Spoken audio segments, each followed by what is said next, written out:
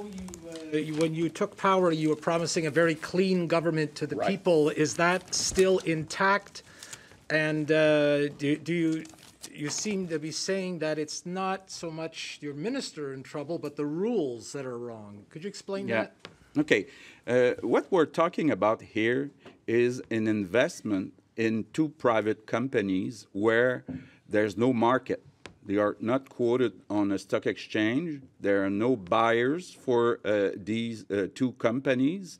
So even if Mr. Fi- Fitzgibbon wanted to sell those companies, he didn't find any buyers. I think that we can manage to have a, a, a minister holding very small amounts in two small companies, being able to continue to manage the rest of the Quebec economy. And I think if we uh, want to have uh, uh, people with experience in the business, I think it's about normal that these people they that they have some interest in some uh, private company. So I think it's about time that we uh, change the code the, the, the, with the opposition parties. Of course, we have to do that together, but uh, it has to respect uh, the principle, uh, the spirit. Uh, we don't want to have any conflict of interest. And I think we can manage to make sure, uh, uh, in being very open, to, to make sure we protect this independence. Mr. Fitzgibbon, you've repeated throughout this press conference that the, the businesses in which you hold, um, I don't know, some sort of share, uh, are very small. How do you classify a small business? And if you're talking about um, potentially updating the code of ethics, how would we go about classifying, for instance, the, the type of business that you own versus um, the type of business that Mr. Pellado owns?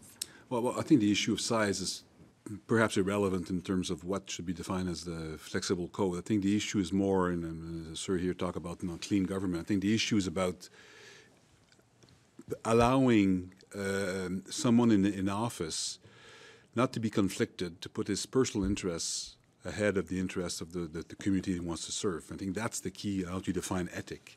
And I think the issue here is, can a ministry, a minister, of any, any department can own shares? Can it, can it, can it be uh, Chinese wall organized around so he's not, the person is not involved in decision-making process to give financial incentive? And I think that's the issue. In the case of the company that uh, that is referred to. It's the, size is a, is a, revenue of ten million dollar. It could be fifty. I, I don't think the size matters. I think it's more what kind of measures do you put so there's no conflict where personal interest and interest of community are are uh, head to head, and that that's the issue. And what I did in that company is I protected that situation by not allowing the government to have any financial incentive. Hence, never put myself into a conflict of interest. I'm just curious because you've also mentioned um, that, that a number of times that there is no market to sell. Uh, okay, you said that one business was 10 million, but I assume that there's no market for the two businesses. Um, can you? I know you said you didn't want to mention the names of them, but can you explain what kind of company it is? What kind of company has no market? Yeah, and, I, and me perhaps also a background as well. I mean, my my uh, my day job before I went to politics was to help a family office to invest in private equity, in private uh, investment. So in each company that we were investing, I put some some money uh, personally, you know, small amount of money to be to be a line of interest. So I had 13 of those. So when I um, decided to come into politics, I knew I would have to dispose of those uh, shares. But it's, it's a private company, so there's no lineup of people wanted to buy. You have to make an effort and talk to people to see who wants to buy it. So I was able to sell 11 out of the 12, out of 13, sorry, in about uh, seven, eight months. It's all about personal contact, so it's, it's, it's a full-time job. In the case of the company that I couldn't sell, uh, it's a small company, so when the smaller you are, the less shareholders you have, and the less people will know the company, right? Uh, this company is not that, that much known. So to try to sell it, it's a private kind of a market, so there was there was no market. What kind of company it was? I mean, the same can be said about a, an old car, right? Like not there's maybe a less of a market for Yeah, a- well, a to- to- car to- that is unknown from a private seller? Like, what kind of company, eh, can, can you give us some sort of hint of what kind of? Well, it's a company it involved in technology. It's called a technology company. Okay. Company had been in existence for five, seven years, sales of 10 million.